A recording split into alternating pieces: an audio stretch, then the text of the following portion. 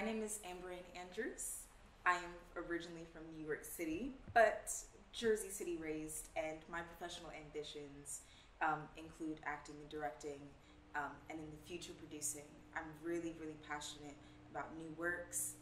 I'm passionate about um, creating stories and building stories that heal people, especially people in the black community, and especially queer individuals. It's really important to me to continue that mission. If I had the tongue of Orpheus, so that I could charm with song the stones sleep and follow me, or if my words could quite beguile anyone I'd wished I'd use my magic now. But it is only with tears I can make arguments here. Ah, for them. My father, not take away this life before its dying time, nor make me go down under the earth, for it is sweet to look upon the day's light.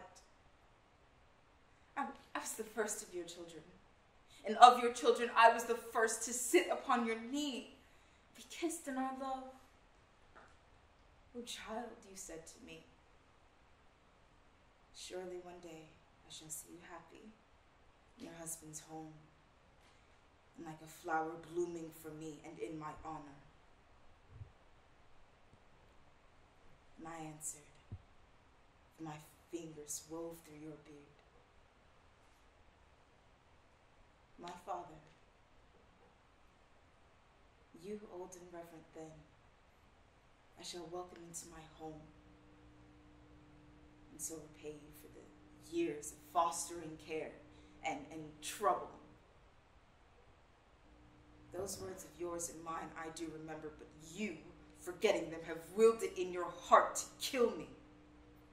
Oh, by Pelops and by Atreus, your father, and by my mother, who suffered travail at my birth, and now must suffer a second time.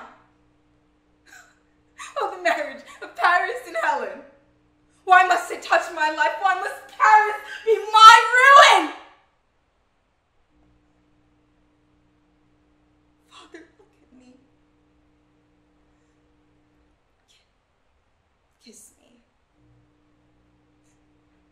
My words fail and if I die,